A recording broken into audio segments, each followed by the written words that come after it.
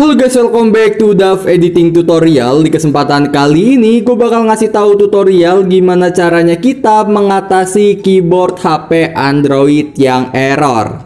Di sini gue punya beberapa cara ampuh yang bisa benerin masalah kalian ini tanpa banyak basa-basi. Langsung aja kita masuk ke tutorialnya. Di sini gue punya beberapa cara, kayaknya ada 5 sampai 6 cara yang bakal gue kasih tahu di video ini. Dan cara-cara ini bisa kalian ikutin semua atau kalian pilih yang cocok dengan kebutuhan kalian aja. Cara yang pertama adalah kalian harus cek pengaturan keyboard kalian dulu. Dengan cara kalian langsung aja masuk ke dalam setelan atau pengaturan HP kalian seperti ini. Kemudian setelah udah masuk kayak gini, langsung aja kalian cari yang namanya setelan tambahan. Di sini langsung aja kalian cari yang namanya adalah bahasa dan masukan. Kalian klik seperti ini. Setelah udah masuk ke bagian seperti ini, langsung aja kalian cari yang namanya adalah keyboard virtual. Langsung aja kalian klik seperti ini. Dan di sini udah harus kalian pastikan kalau keyboard virtual kalian sudah tersetting. Di sini gue make keyboard bawaan yaitu adalah keyboard dan pengetikan Google Voice.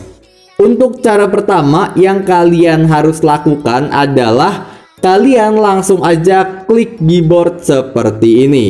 Udah masuk seperti ini, Langsung aja kalian ke bawahin ke bagian yang namanya adalah lanjutan. Langsung aja kalian klik seperti ini. Udah kayak gini, langsung aja kalian ke bawahin. Kemudian langsung aja kalian hapus semua data di perangkat yang telah disimpan keyboard untuk meningkatkan kualitas pengalaman mengetik dan dikte Anda. Jadi langsung aja kalian klik hapus data dan bahasa dari keyboard. Kemudian di sini kalian diminta untuk masukkan kode yang udah ada di situ yaitu 2791 langsung aja kalian klik seperti ini. Udah kayak gini langsung aja kalian klik OK sekarang keyboard kita udah beres kita hapus datanya biar dia kembali ke setelan awal biar dia langsung benar lagi jadi dengan satu cara ini kalian udah bisa nyelesain masalahnya. Tapi gue masih punya beberapa cara lagi yang bisa kalian coba. Langsung aja kita masuk ke cara yang kedua. Untuk cara kedua kita nggak keluar dari bagian pengaturan kita karena cara kedua masih ada di setelan HP kita. Caranya gimana? Caranya langsung aja kalian cari yang namanya adalah setelan aplikasi. Kemudian di bagian setelan aplikasi ini langsung aja kalian klik yang namanya adalah aplikasi terinstall. Selanjutnya udah masuk kayak gini, langsung aja kalian tunggu sampai muncul yang namanya adalah urut per status. Langsung aja kalian klik seperti ini, kemudian langsung kalian ubah menjadi waktu install. Kenapa di sini kalian klik waktu install? Karena kalian bisa tahu aplikasi apa sih yang baru kalian download, yang baru masuk ke HP kalian, dan setelah itu tanpa sadar keyboard kalian jadi error. Jadi misalnya nih ada dua aplikasi atau tiga aplikasi yang ada di HP kalian yang baru kalian download. Misalnya adalah Instagram. Seharusnya adalah yang YouTube Studio, tapi gue nggak berani untuk nyotohin di YouTube Studio karena emang bukan YouTube Studio masalahnya. Untuk contoh, kita klik aja di bagian Instagram seperti ini. Kemudian setelah kalian udah klik aplikasi yang kedeteksi baru kalian download, langsung aja kalian klik paksa henti, kemudian langsung aja kalian klik OK. Jadi setelah udah seperti ini, apa fungsinya? Fungsinya adalah menonaktifkan aplikasi yang diduga memicu keyboard kita error. Karena bisa aja aplikasi yang baru kalian download adalah penyebabnya. Kalau setelah kalian paksa henti, keyboard kalian sudah tidak error lagi, silahkan langsung kalian uninstall aja aplikasi yang tadi kalian paksa henti. Untuk uninstall nggak perlu gua kasih tahu kan caranya karena pasti kalian tahu. Itu cara yang kedua. Kita langsung aja lanjut ke cara yang ketiga.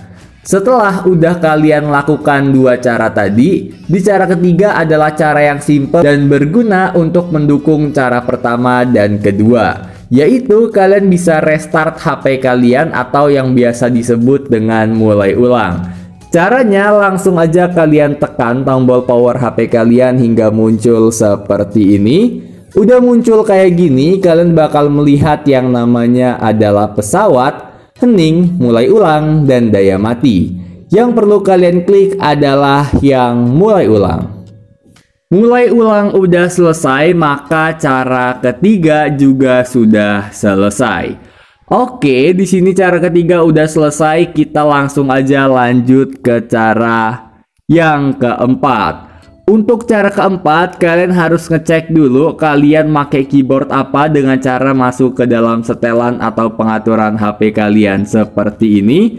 Kemudian kita masuk ke bagian yang tadi yang ada di setelan tambahan dan ada di bahasa masukan. Kemudian di sini kita klik di bagian keyboard. Kita cek di bagian keyboard virtual kita pakai aplikasi keyboard apa. Ternyata di sini kita pakai aplikasi keyboard. Jadi di sini setelah kalian udah tahu, langsung aja kalian keluar dan langsung aja kalian klik di bagian Play Store. Kalian tunggu yang namanya seperti ini dan langsung kalian cari yang namanya keyboard kalian tadi. Dan udah masuk seperti ini, kalian klik keyboard kalian dan pastikan kalian udah update ke versi keyboard terbaru kalian karena ada update terbaru yang di-up yaitu tanggal 10 Juni 2024 bulan lalu. Jadi langsung aja kita klik update. Jika cara keempat sudah selesai, kita bisa langsung lanjut ke cara yang kelima. Untuk cara kelima di sini adalah tentang sistem HP kalian. Caranya langsung aja kalian masuk ke dalam setelan atau pengaturan HP kalian seperti ini. Kemudian langsung aja kalian cari yang namanya adalah tentang ponsel atau perbaruan tersedia. Kemudian kalian klik di bagian perbaruan tersedia. Selanjutnya kalian tunggu hingga dia mendeteksi kalian udah MIUI berapa. Dan langsung aja kalian klik perbarui. Ini bukan cuma untuk yang HP Xiaomi ya, tapi untuk HP Android merek lain kalian bisa lakuin cara ini juga. Langsung aja kita klik perbarui untuk menutup cara kita sudah selesai. Jadi kayak gitu caranya untuk kita mengatasi keyboard kita yang bermasalah. Jika kalian suka dengan video ini, jangan lupa untuk kalian klik like, comment, and subscribe. Dan yang paling penting adalah share video ini ke teman-teman kalian melalui media sosial kalian apa pun itu.